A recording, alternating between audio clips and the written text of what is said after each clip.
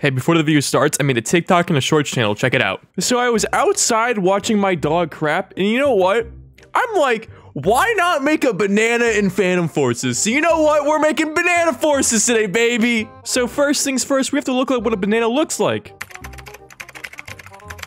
Mmm, banana. I was thinking about making it the super shorty instead of the thumper, but just look at it. So instead, we're using the thumper. Yeah! First things first, this thing is a banana, so let's go ahead and put some sponge ammo into it. Next thing you gotta do is obviously remove the stock, and now we're getting somewhere. And now let's put an H and K sight on it, because you know what? Banana. Select the M79 thumper.